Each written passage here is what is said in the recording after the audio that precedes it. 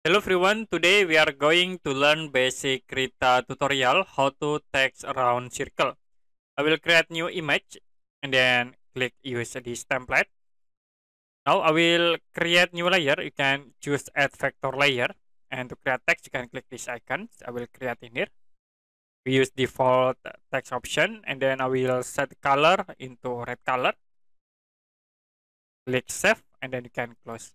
Now to resize, I will use this transform tools.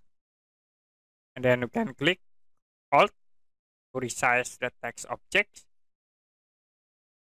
Make sure the text objects fit in the length of the canvas. Like uh, I will resize again and move into here.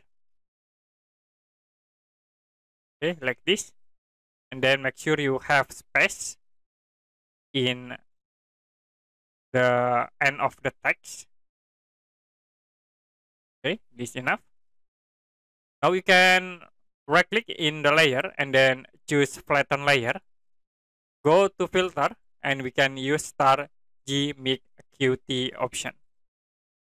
We can go into deformation and then click on Shape It will be automatically create the round circle text.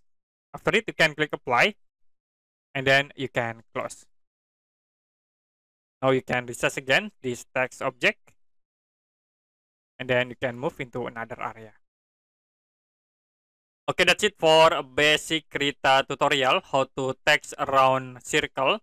If you have any question about tutorial, you can comment below this video.